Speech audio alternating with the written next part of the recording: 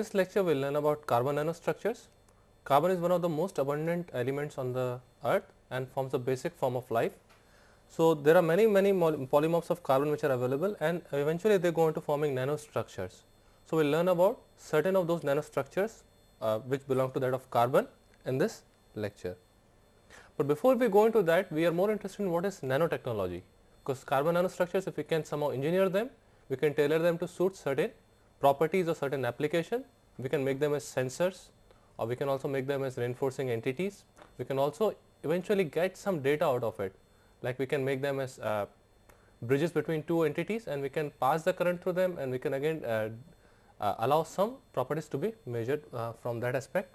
So, that nanotechnology has emerged as a very strong tool uh, because of this uh, nano these nanomaterials, but nanotechnology it, it comes out as a combination of not only engineering, but also some other sciences such as chemistry, biology and physics.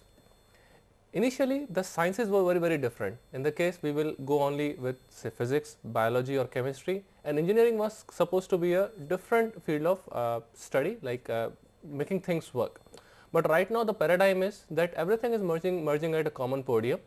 So, if, you, if I want to implant a chip in a body, I also need to see the physics of it, how those things will really make, uh, make that happen I also need to understand about how do I engineer it. it. It means how I can make that device work while it is in the body.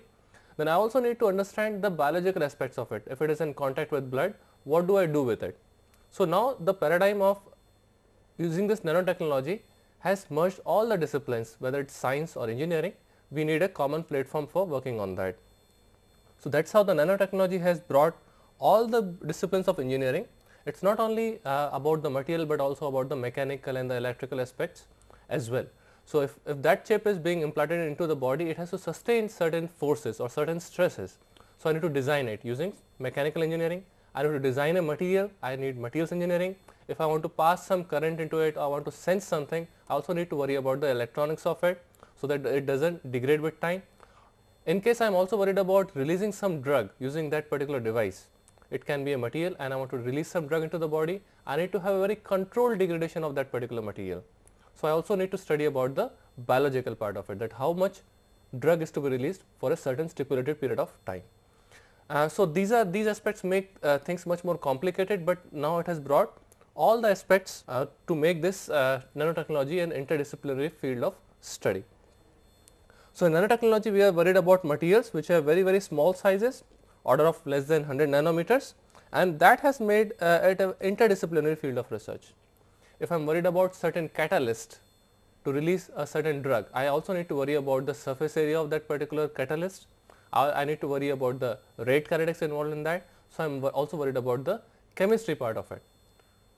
So, there are many many aspects which make things very very complicated and the subtleties uh, are somehow ignored or some, some sometimes if I want to engineer to that extent I will also need to worry about those subtle aspects. So, that is how it has become a very complicated tool and when I am using a nanomaterial I need to also understand things at the nanoscale because right now the bulk the bulk physics is very very different than what you might expect at the nano level. So, again it is a very complex phenomena and to engineer that we always need to worry about the nanotechnology. And again uh, coming back to how small is nano, nano is nothing but uh, any entity which is less, less than around 100 nanometers and to see it uh, visual, visualize it physically a nanometer is billionth of a meter, but it is about 1 by 80 thousandth of the diameter of a human hair. Human hair is approximately 100 to 150 micrometers in diameter or this nanometer is approximately 10 times that of a diameter of a hydrogen atom. So, right now we are, we are worried about uh, 0.1 angstrom that is a hydrogen atom the diameter of that and I am talking about scales 10 times than uh, hydrogen atom. So, that makes it around 1 nanometer. Uh, we can see a human a human being uh, a human is generally a uh, couple of meters like 1 1.5 to 2 meters. So, that that is the uh, height of a human being around 1.7 meter and ant it is approximately 1 millimeter the length of the uh, length of an ant is approximately 1 to 2 to 3 millimeters then we have red blood cells which range in the order of microns or 10 power minus 6 meters. And when we talk about a material, we find that a material has certain polycrystalline grains into it and the grains also extend to the order of couple of micrometers. So, the grain size can vary from micron to submicron and now we are worried about the microstructure of a material and that is approximate that approximates to the micrometer length scale. So, I am worried about micrometer length scale. I am talking about couple of micrometers size of the grains. When I refine the grains to sub micrometer uh, range less than 0.1 micrometer then I am talking about something at nanometer level. So, that is what the range is approximately here that I am worried about 1 nanometer or 10 power minus 9 meter or that is approximately 10 times the di diameter of the hydrogen atom and that is what is nano. To give a physical physical sense if a ant if it starts holding a nano gear. So, if I have an ant which is approximately 1 to 2 to 3 millimeter uh, in length and if it is holding a nano gear that nano gear will be 300,000 times smaller than that times smaller than the ant itself. So, we can see an ant is approximately 10 power minus 3 meter and we are going to nanometer that is approximately 10 power 6 times bigger than a nanometer. So, that is what the overall feel of uh, this nano length scale. Now, coming to the nanostructures.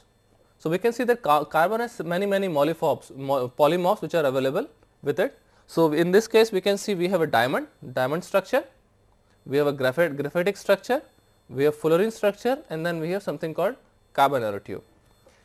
In the case of diamond we can see we have sp3 hybridization. It means that each carbon atom is now attached to 4 uh, other carbon atoms. So, we have uh, one carbon atom which is now attached to 4 other carbon atoms and that is what it gives a very strong strength, a very high hardness, a very high stiffness to the diamond. So, this is a diamond structure. So, each carbon is sitting at, uh, at the tetrahedral, tetrahedral and it is now connected to the 4 carbons along there with. So, that is why we can see that carbon can exist as a diamond which is the, which is one of the very hardest known material and that requires hybridization of sp3. Though we say that diamond is forever, but diamond is not the equilibrium form of a carbon. It is a graphite which, which is actually the equilibrium or the thermodynamically stable form of carbon.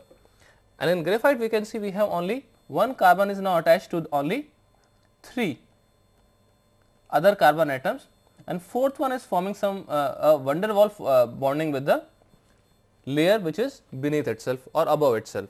So, we can see in this case we have sp2 type of hybridization in a graphitic structure. So, we can expect that conductivity or strength will be much higher along this length scale. So, we can see that we have free, free electron available and that can basically hop and in this case we can achieve very high strength. Why? Because in this case we have a covalent bond whereas along the vertical direction I have van der Waals attraction. So, in this case in a, in a graphitic structure I can get very high strengths along this horizontal axis and apparently this van der Waals forces are pretty weak in comparison to that of covalent bonds. So, I can easily slide these two layers and I can basically slip those uh, graphitic planes over each other and that gives the overall lubricating property to the graphite. Whereas, that thing is not possible in the diamond structure because diamond structure it has all the bonds which are covalent so, that is a problem in diamond, but we can get very good lubrication in this graphitic structure because we have a van der Waals force which is joining the two sheet two layers of graphite.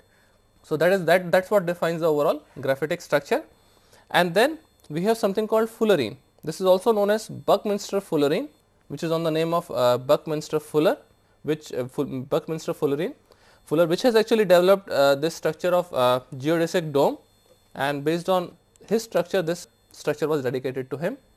Now coming to CNT this is nothing but a single layer of when a single layer of graphite is rolled into kind of a tubular structure. So, we can see a tubular structure is made and that basically is forming a diameter which is approximately less much less than 100 nanometer. So, that is why we are calling it carbon nanotube. It is a hollow structure that is why it is a tube. So, I am taking a layer of graphite and I am rolling it in a manner that I get a tubular structure and that is called a carbon nanotube.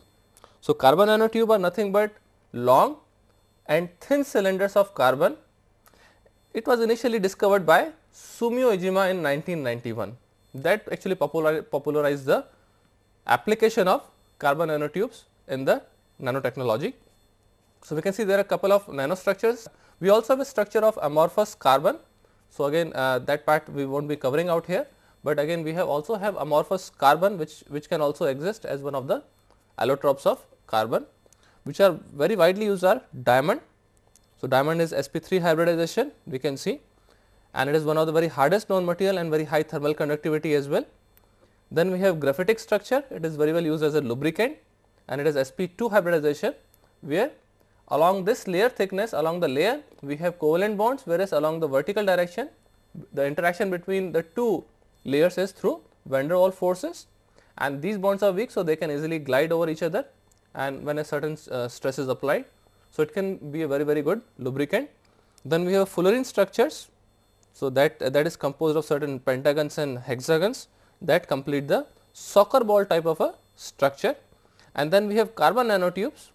Carbon nanotubes are nothing but very long and thin uh, cylinders. So, we can get aspect ratios which is nothing but the length to the diameter ratios as high as 1000 or more than that and that was discovered by Sumio Iijima in 1991. So, that is what we can see the overall how the carbon nanostructures are being uh, developed. The first thing is graphene.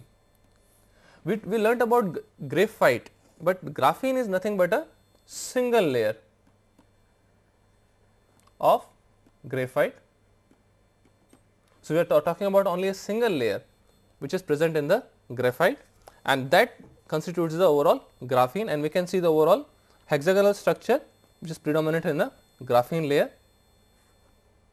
So, that is what we can see out here that we have this hexagonal structure which basically develops in the graphene. So, we can see that we have a single layer of of graphite and that is called a graphene. The beauty of this one is that it has a very high thermal conductivity as well it has a very high strength. The fracture strength can be uh, as high as around 200 gigapascals whereas the modulus can be as high as 1 terapascal. So, that is what we are talking about graphene. Apparently, graphene has very high transparency to the order of 97 percent which can be utilized for making transparent screens out of it. Can absorb as much as 2.3 percent of the incident radiation and that is what makes it very very special because if you are depositing this graphene by a single graphene layer we can really see the change in the opacity and if we have two layers that will be much more opaque. So, even we can detect this opacity via our naked eye. If we go about characterizing it because to see a nano layer we need very sophisticated tools such as TEM or something like that at the order of electron microscopy. So, but if we just deposit a single layer of graphene we can just observe it using this our naked eye. So, that is the beauty of this uh, graphene structure. So, it can be utilized for blocking the radiation whenever it is required at the same time providing a very good conductivity. So, that is what because the single layer of graphene is very highly conductive as well and it, its conductivity can go as high as maybe more than 100 around 100 times that, that of a 10 to 100 times that of a silver or copper. So, it can be highly conductive as well. So, that is the beauty of uh, this graphene uh, layer. Apparently, a group in the Maryland at College Park, uh, they have isolated a single layer of graphene and then what they have done, uh, it is approximately 1 micrometer uh, wide and they have sprayed them in a vacuum chamber and they were they, they held it in mid air by using some electric fields. So, once that is being held in the electric field uh, in vacuum, it is kind of floating and after this floating they have applied magnetic fields and then from that they have seen the rotation of this or uh, rotation of this graphene and it can rotate as high as 60 millions rpm that is highest ever observed. So, it means that graphene that graphene layer or that graphene particular layer is rotating at a speed of 60 million rpm. So, it is rotating in that speed. Apparently, if I try to rotate anything even at say 30,000 rpm or 40,000 rpm or even 1 lakh rpm, it will start heating up like anything. Whereas this graphene layer does not heat up, it is still stable at 60 million rpm and it is it is actually been proposed that this is not the top speed of this graphene layer. So, we can make very wonderful things out of graphene without letting it disintegrate. So, that is the these, are the recent applications which are coming in in, uh, in this particular arena. So, graphene is one of the very fascinating materials and if you want to rotate it like using some magnetic fields, you can make certain rotors or motors out of it and from that we can generate very high power as well and they can go speed to the order of 60 millions rpm without even disintegrating. So, that is what uh, is one of the applications of these graphene uh, layers. Now, coming to fullerenes, fullerene again it is uh, nothing but a, a geodesic uh, dome type of a structure where you can see that you have a truncated icosahedron. So, it appears more like a soccer ball. So, you have a structure which is a kind of a soccer ball and it has up, it has around 20 hexagons and 12 pentagons which gives the overall curvature. Because if you have only hexagon and you rotate it, it will form some sort of a tube, not really a ball kind of a structure or a sphere kind of a uh, entity. So, you need to have pentagons to give it a curvature and that is what is happening here and all these pentagons are not really joined with each other, they do not share the edge, but it is being shared through the hexagon. So, we can see we have hexagons out here and that thing is being joined by a pentagon. So, that is what we can see out here hexagon then again we have a pentagon. So, we have pentagon, hexagon, pentagon, hexagon kind of a structure and that is how it is being joined to give it a curvature. So, that is the beauty of this particular fullerene structure and it has been named on the Buckminster Fuller and who had popularized the geodesic dome structure. So, fullerene uh, is again one of the uh, one of the polymorphs of the carbon. It it has a structure which is a truncated icosahedron. So, it appears more like a soccer ball and it has around 20 hexagons. Uh, it has 20 hexagon and uh, 12 pentagons to give it this kind of a spherical structure. There are other entities also possible like C20, C70 and so on, but this is the one which was initially initially been discovered and it was basically named on Buckminster fullerene. It is also called a buckyball, buckyball structure. And to shorten the form, it is called as a to shorten the form of Buckminster fullerene, it is called as a fullerene only. Uh, as I said earlier that uh, the carbon nanotubes were discovered in 1991 by Sumio Iijima, but these CNTs or the carbon nanotubes were discovered been the, they have been actually named as carbon filaments even as early as 1952 that is what we can see here. So, the transmission electron microscopy of these carbon nanotubes were mentioned you know, as early as in 1952 maybe like 40 years before in Journal of Physical Chemistry of Russia. But these these this these findings did not come to limelight during that time because there was a cold war going on between Russia and America and also there was a problem of access to the Russian scientific publications and also the language of Russian was not that predominant during that time. So, that is the reason that this finding did not emerge even till very late. So, this paper was uh, written by uh, Radushkevich and Lukyanovich uh, in 1952 and they mentioned them as carbon filaments and not as carbon nanotubes. So, that was the earliest, earliest finding of uh, carbon nanotube. Even later on the filamentous growth of carbon was again being mentioned by Oberlin and Endo and Koyama in Journal of Crystal Growth in as early as 1976. And they had uh, told that uh, they can form this filamentous carbon by pyrolysis of benzene and they were more worried about the carbon fibers which also in, incidentally contained a hollow tube. So, now we, we have gone from carbon filaments to filamentous growth which is also showing a hollow tube with a diameter approximately of 2 to 50 nanometer along the fiber axis. And again they have also formed an annual ring of structure of tree. So, that is what we are uh, they also mentioned that by the pyrolysis of benzene at around 11 degree, centigrade they can form carbon fibers which with the presence of some hollow tube which is which is a diameter of around 20 to 500 angstrom that means 2 to 50 nanometers along the fiber axis. But again these findings also did not come to limelight as such. Why that thing happened that now the, uh, the discovery of carbon nanotube is uh, dedicated to 1991 to Sumio Iijima. Because first thing was in 1952 the Russian journal were not that accessible, the cold war was, was, going on and those Russian publications were not available to everyone and the, uh, again the uh, Russian language was also not so popular. In 1976 again they talked about this filamentous growth of carbon, but the problem is that time they were studying about avoiding this formation of this uh, filamentous carbon in certain areas, certain regions. It was uh, some uh, mineralization was some, some process was going on and they wanted to remove the formation of this filamentous carbon and they were more worried about how this growth is occurring and all that. At that time the nanowave had not come. So, that is one of the biggest thing which really came into that and all this investigation was based on some growth mechanism and that was not so interesting for the physicist. Even the maturity of science was not there and they were not able to think nano during that time because nano was popularized mu much later in 1980s and 1985. So, that nano wave had not caught in the people and since they are worried about the growth of uh, this filamentous carbon where they want to avoid the, this formation, this did not really interest, interest the physicist.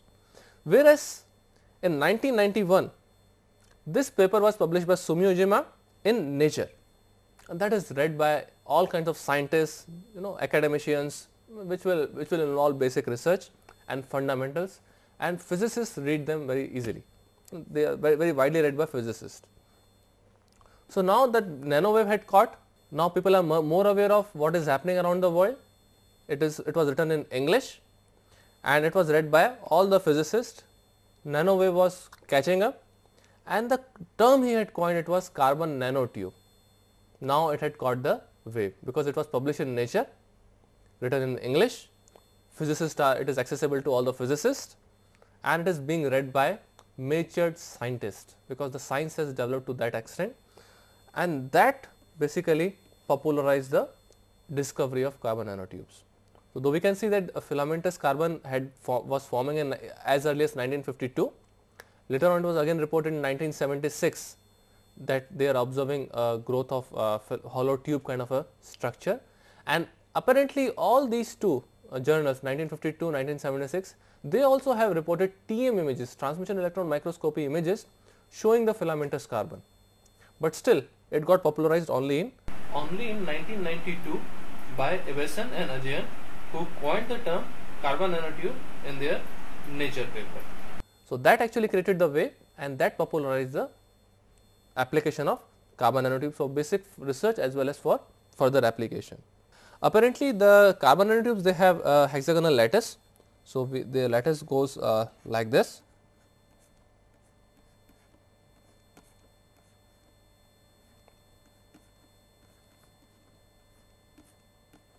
So, it is a symmetric uh, hexagonal lattice. And then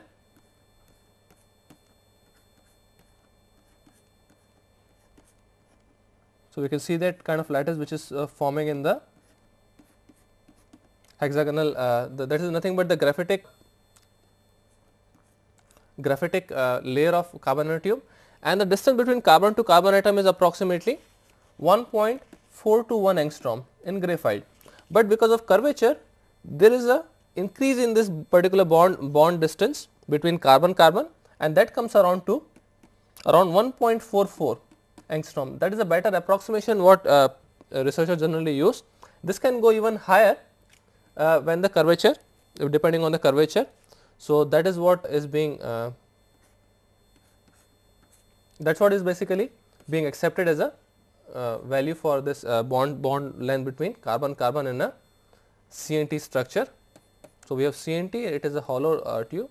So, higher the curvature higher is the stretching between the bonds. So, once you have a flat layer if you can cut them up it will be in equilibrium, but once you start putting the curvature the bond length between the carbon carbon will start increasing. So, if you can define a chiral vector and we can also compare it with the Cartesian coordinate it can go like this that chiral vector we have something like this going along this direction and second entity which is going along this direction. So, we can see that we have A 1 along this direction, A 2 along this direction and then we also want to define it using a Cartesian coordinate. So, if I take this one as a uh, origin and I want to define it using Cartesian coordinate, coordinate I will take let me just change the color of the pen. So, I can so if I take this as origin I will take it as x and I will take this as a chirality or chiral vector is defined as the direction along which if tube is rolled that becomes its circumference. So, the chirality can be given as n times a1 plus m times a2 where a1 and a2 they are nothing but the uh, vectors of the hexagonal lattice. So, they are uh, around uh, two vectors with around 120 degrees of opening. So, that is what is uh, a1 and a2. So, we can see that a1 and a2 will go along this direction. So, they will have around 120 degree of opening with them and using the Cartesian coordinate I can define a1 is equal to 3 by 2 times ACC where ACC is the bond length of carbon root 3 by 2 AC and then your A2 can be given as 3 by 2 ACC minus root 3 by 2 ACC. So, we can see if it has to traverse. So, I, I need for A1 I need to traverse along x I need to travel uh, 3 by 2 times of the bond length and along y I need to traverse root 3 by 2 of bond length of carbon. So, that is how I can go from here to here. So, I have to traverse along along x I traverse some distance along y I traverse some distance. So, this is x this is y and that gives me x and y in the Cartesian coordinate. Apparently, if I take its uh, chiral vector, so chiral vector is nothing but n times a 1 plus m times a 2 and that comes out to be, so C h that is a chiral vector that comes out to be root 3 bond length of carbon n square plus m square plus n m. So, we can see that the CL is the circumference of this tube or which is defined as the chiral vector for this particular carbon nanotube. So, that is how it is coming out for the carbon nanotube. Apparently, we can uh, define carbon nanotubes in two certain forms. So, once I once I come to that I will also discuss uh, how we can really form it. So, let me first uh, go back to uh, this carbon nanotube structure and then let me explain it further. Let me say it that for armchair we have n equal to m and for zigzag my m is equal to 0. So, for armchair my chiral vector becomes when m is equal to 0 sorry n equal to m I can get root 3 ACC n square plus n square plus n square that becomes root 3 again. So, root 3 n square I get 3 ACC n. So, that is what my chiral vector is for armchair.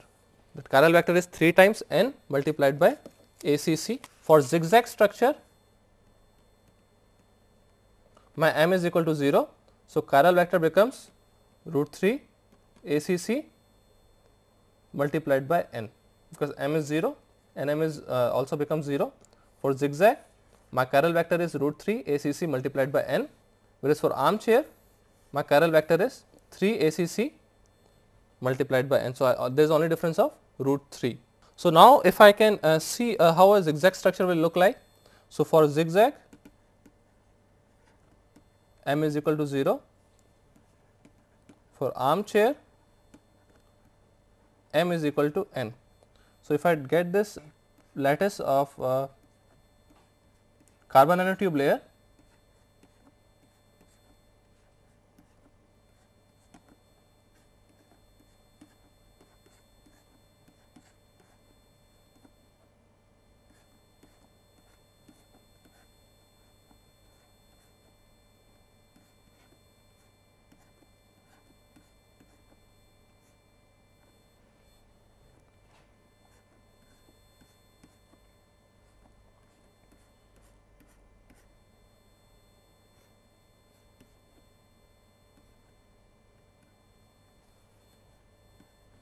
Okay. So, something like this.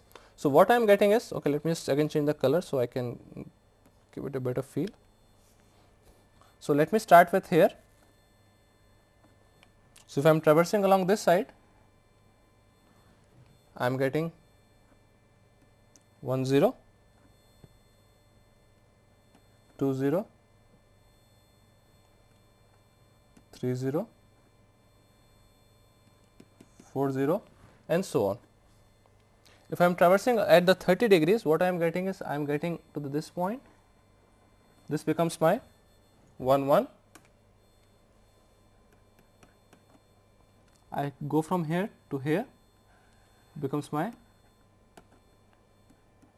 2 2 and so on. So, if I am traversing along this side what I am finding is this is okay, if I am traversing along this side my m is equal to 0 it is forming my zigzag CNT. If I am traversing along here this is my 0 0 I am traversing along here I am getting a armchair kind of a thing. So, in zigzag I can see I can get this sort of a traverse whereas in zig uh, whereas in uh, armchair I am traversing like this and I see this sort of a structure. So, that is what I am getting that I am traversing here, I am seeing something, something and then again I am coming back to this. So, I have a repetition of from here I have a repetition of something like this. This is forming my armchair and whereas this one is forming my zigzag. So, we learned that the chiral vector for a zigzag it was root 3 n a c c. For armchair the chiral vector was 3 times n a c c. So, depending on uh, the, the n that is the uh, vector which has been traversed along on a particular side. So, n is along uh, direction x and uh, a, uh, along a 1 and m is along uh, a 2. So, that part we can see here and from that we can all and chiral vector is nothing but it is kind of a length which has been traversed that forms some sort of a diameter or oh, sorry the circumference diameter multiplied by the pi that forms the circumference. So, that chiral vector is something like a circumference of that particular tube. So, so when I have uh, this type of structure I can always find what is the approximate uh, diameter of the tube because that diameter multiplied by pi will give me the chiral vector. So, that diameter is equal to 3 times n ACC divided by pi for armchair and d is equal to root 3 and ACC by pi for zigzag. So, from this from the chiral vector I can always identify what is the diameter of that particular entity. So, if I want to find a zigzag I just need to roll them along this particular direction. So, uh, depends uh, I will just show you the examples of zigzag and the armchair uh, configuration. Apparently, I can also find the theta that what theta I am rolling this particular entity. So, for armchair theta is equal to tan inverse of root 3 m by m plus 2 n and in this case m is equal to n. So, what I get is 1 by root 3 tan inverse of 1 by root 3 that is equal to 30 degree for armchair. For zigzag my m is equal to 0. So, I get theta also equal to 0. So, just couple of things that in zigzag I get this kind of a morphology that I, I go up, go down, go up, go down that is forming a zigzag and chiral vector is given by root 3 n ACC whereas armchair I see I traverse, I go up, traverse, come down and that is forming a armchair because that is more like sitting on a chair with a rest arm rest on that. That is why it is called armchair. And chiral vector is nothing but some sort of some sort of a circumference which is being uh, achieved in the structure. So, I get uh, chiral vector. I can relate it to the diameter of that particular uh, carbon nanotube. And from that I can get the overall diameter. Apparently, the theta at the angle at which I am rolling it to get this uh, particular nanotube that can also be achieved using this particular relation and for armchair it is 30 degrees. So, the theta value I am talking about is the th that theta is 30 degree with respect to the Cartesian coordinate and that thing is 0 for the zigzag where it is around 30 degree for the armchair. So, now let me show you how these uh, structures look like. So, we can see that once we have a graphitic plane, the way we roll it, we can achieve either armchair, chiral or zigzag type of a carbon nanotube. So, in, in case when we have a armchair, we have theta of 30 degrees. So, we have 30 degrees theta when we have armchair and in zigzag we have theta of 0 degree. So, depending on that uh, it, it just matters on way we define it. So, we have 0 degree out in zigzag and armchair is around 30 degree. So, we can see that the nature or the electrical nature of this one can be very very different like in zigzag it can be highly metallic, in chiral it is a semi metal and in armchair it is a semi conducting. So, depending on that uh, the way we the way we are rolling it we can uh, achieve different type of conductivities in the carbon nanotube. So, that is what we can see out here. Generally armchair we have everything is semi-conducting, chiral it can range from semi-conducting to metal. So, once we have this relation when 2n plus m is an integer uh, multiplied by 3, then we get something which is metallic. In other cases it is generally semi-metallic. So, if we can roll it, so if the rolling is like this, so this particular part will be metallic whereas this part will be semi metallic semi conducting to metallic. So, along this side it will be metallic and that basically corresponds to the zigzag structure or the 0 0 direction and in this corresponds to the armchair type of a fabrication which is nothing but semi conducting to metallic. And carbon nanotubes they exhibit well defined perfect crystal which is a covalent carbon to carbon bond and again this graphite is now rolled into various ways. So, I can roll it like this, I can roll them like this to get this uh, armchair type of configuration. In that manner I can uh, roll it to get a zigzag kind of a structure when I uh, roll them along 0 direction and then again I can, uh, so basically I am joining this end with this end to get to get this, this to get this armchair if I can roll them like this. So, I can see that these things will come at the end the extreme ends will come at the end and if I am rolling it like this I am getting zigzag and if I am rolling them in any other direction then I am getting this chiral type of a structure and these properties they are very different basically along different directions. So, uh, apart from the con conductivity so, uh, conductivity can be very very different along uh, armchair or zigzag whereas other properties uh, like if I want to reinforce them that also will depend on the covalent bond strength of the covalent bond. So, that will depend again uh, which is essentially the same in all the three cases because I again have covalent bonds along the length of the tube. So, I can get pretty much very uniform properties along this side and also they are much uniform along the cross section of that as well. So, depending on where I am loading it, if I am loading it lo loading it along this side, I might get very very high properties, whereas in other case transverse direction it might be different. So, why do we want to use carbon nanotubes? Its current density can be 1000 times higher than that of copper because there are no problems associated with the electromigration as in case of copper. But this does not mean that the carbon nanotube also have lower resistivity than that of copper we can see that the carbon nanotube has resistivity to the order of 10 to 50 micro ohms meter whereas that for copper it is 0.01 micro ohms meter. Uh, even if are conducting silver it is approximately around 100 times than, than that of a silver. It can be utilized in microelectronics such as cathode ray lighting elements, CRT, flat panel displays, nanotube transistors. The idea is that what we achieve in a LCDs we have some sort of pixelated picture and each pixel has certain dimension. So, because each pixel will give us certain color and that will eventually produce some picture which we are looking at with different colors. If we can replace all these pixels by CNT, so the diameter of CNT is nothing but couple of nanometers. So, if we can replace them by a CNT, I can get more number of pixels in the similar area. So, eventually what I am getting? I am enhancing the resolution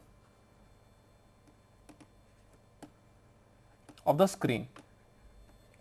So, it will appear more like I am watching face to face anything and I am not, uh, it will appear very very much it won't the picture will not appear pixelated, but it will appear like I am watching someone face to face and that will produce the clarity in a picture or in a particular display panel.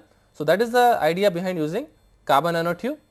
Also carbon nanotubes are also being utilized for energy storage because it has a hollow structure, it can store hydrogen very easily and, it can be utilized for the application in fuel cells.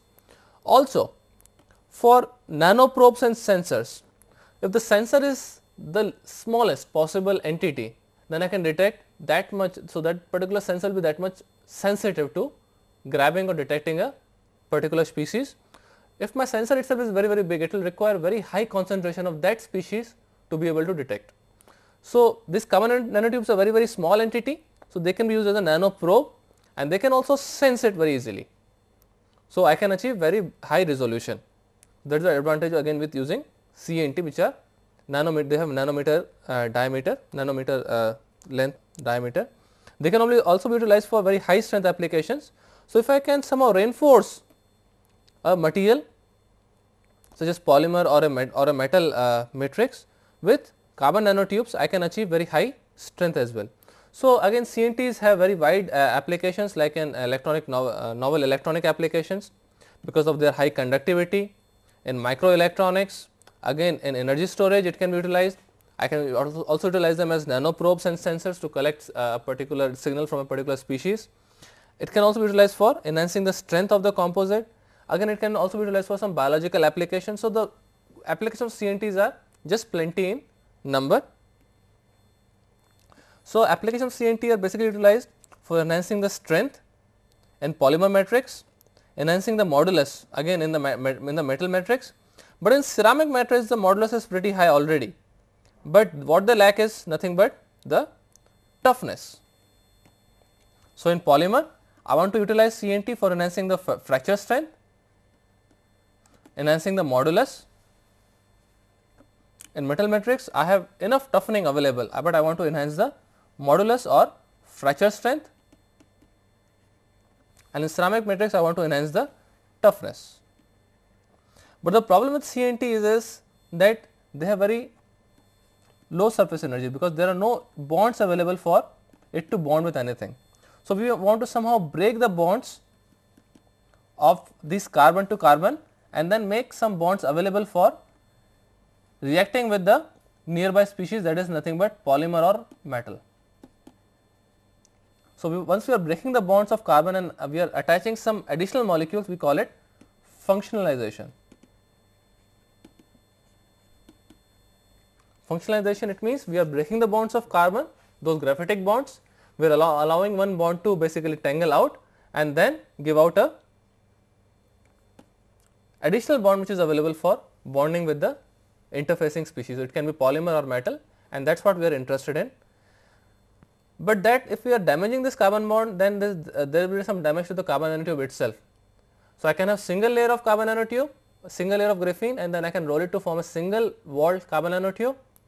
If I am damaging the structure basically I am deteriorating the properties.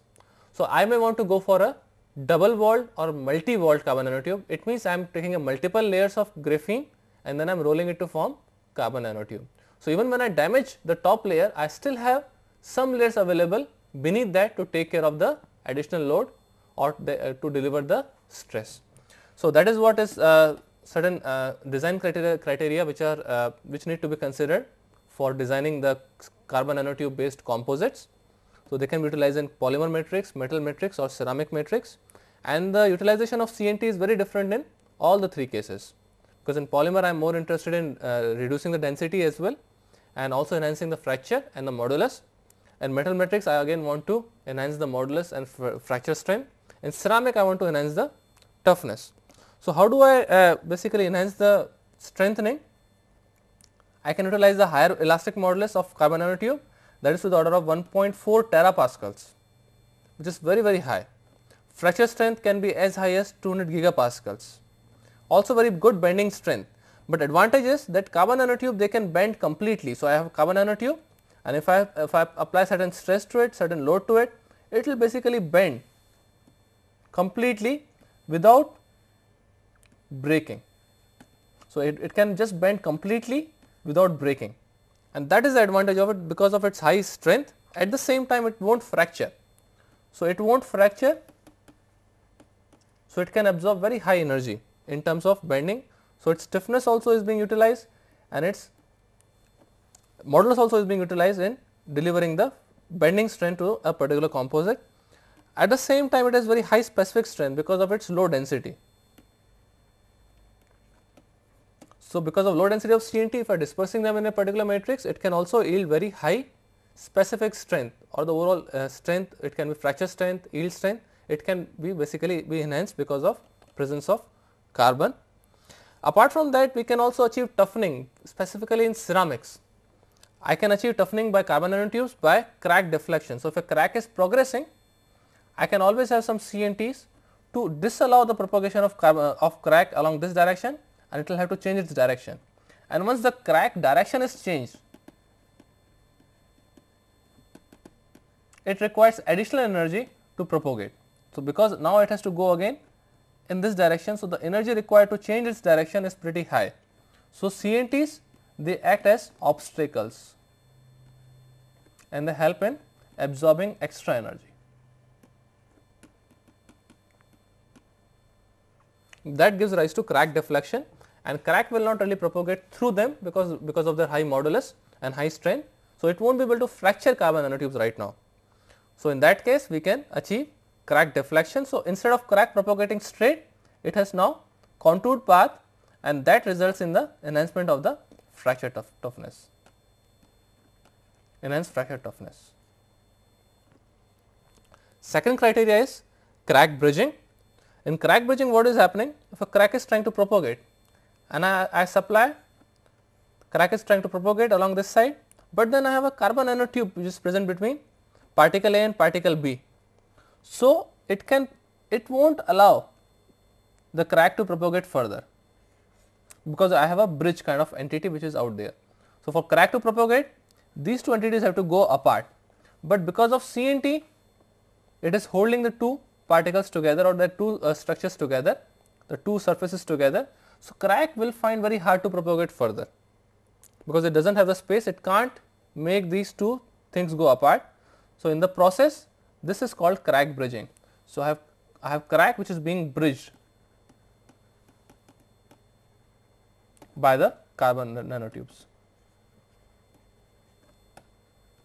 So, That is second way of toughening it is called crack bridging and third thing is crack CNT pull out. So, so in this case once it goes to an extreme I can also get CNT fractured. So, if I had a crack like this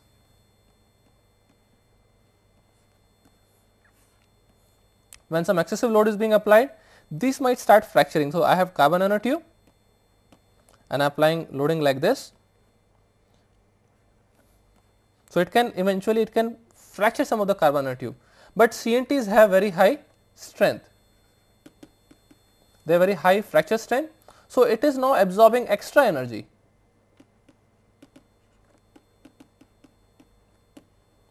Ideally that energy would have gone to enhance the crack length, but now that has gone in fracturing the carbon nanotube. So, eventually the crack length is much shorter than what it would have, it would, it would, would have been in absence of carbon nanotubes.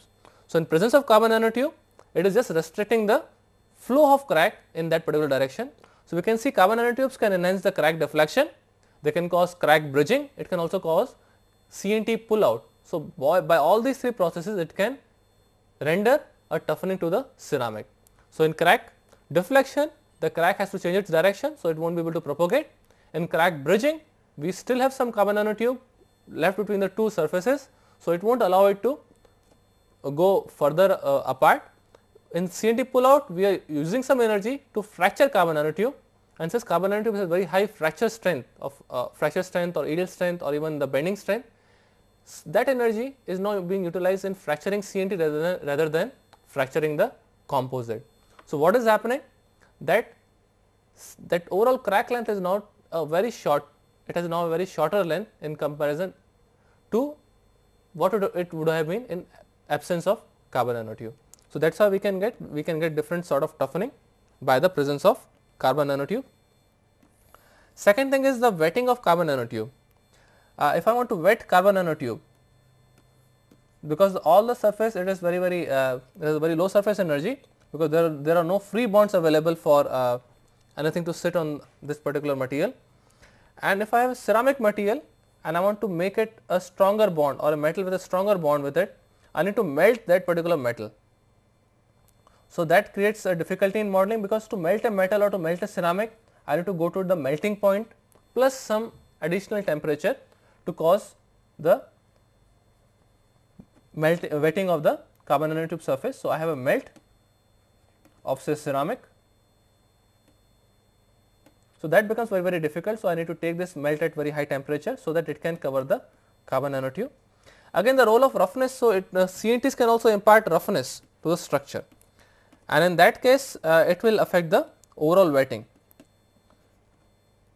What is happening is I, I have carbon on the surface and if I put some droplet of water it might just stay over those carbon nanotubes because it because of because they can support the water droplet because there are plenty in number without letting the water drop water uh, to get into the grooves because it will require very high pressure for the grooves to be filled in. A datum of around 3 or 3 to 10 meters is might be required to fill in the cavity which is approximately 1 micrometer apart. So, that is what it tells that role of roughness can be very very critical. I can change the overall uh, surface properties, I can change the wet wettability, I can make it highly, highly super uh, hydrophobic. Second thing I can also enhance the overall catalytic property in terms of adsorbing or uh, adsorbing or detecting a certain species. So, that is that is how I can really uh, alter the overall uh, specification of the surface uh, characteristic by adding uh, roughness to the composite. So, those are all things which can happen uh, in this case of carbon nanotube. Again CNTs are again they are being discussed as toxic as well as biocompatible why? Because uh, toxicity is of a concern when I am using carbon nanotube in a particular biomaterial. There are two schools of thoughts. First thing is uh, that anything in the nano form because I am talking about carbon nanotube. So, anything in the nano form it is anyway dangerous because if those particles get into the lungs it will be very hard for them to come out, can't come out.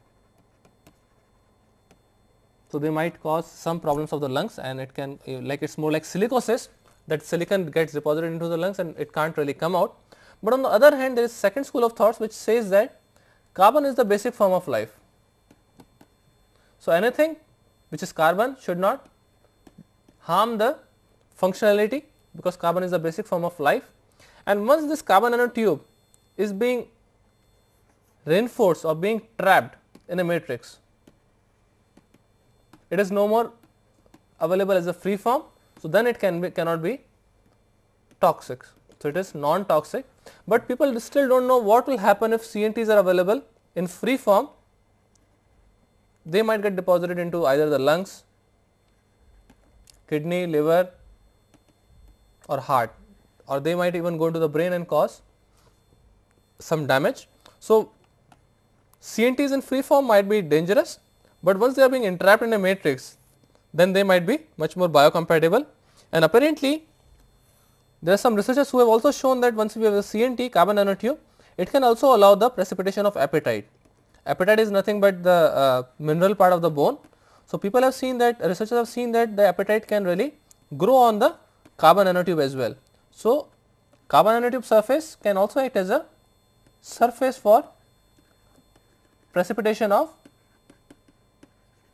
apatite crystals. So, that is again uh, which are certain concerns which are associated with the carbon nanotube in terms of their toxicity or their assistance in precipitation of apatite. So, again this uh, this has to be handled with uh, extreme care when, when a bio, biocomposite or biomaterial is being developed. So, in summary we can see that uh, nanotechnology is basically an inter interdisciplinary uh, field of research which involves science as well as engineering. Then we learnt about this carbon nanostructures polymorphs specifically the graphene layer, the graphite, fullerene and nanotubes. And we concentrated on basically the nanotubes uh, in terms of uh, strengthening and toughening the matrix and also learning about how the wetting can occur in carbon nanotube and why it is uh, very very essential. Uh, because I can uh, I can impart a different functionality to uh, the biocomposite or that particular composite and then I am also worried about the biocompatibility because I want to utilize their strength for enhancing the toughness of a ceramic that is the apatite. So, whether it can be utilized as a biocompatible material that is again it requires much more research before anything can come to a conclusion. But definitely once they are being incorporated in a, incorporated in a matrix they can be used as a reinforcing or strengthening agents. So, with this I close my lecture. Thank you.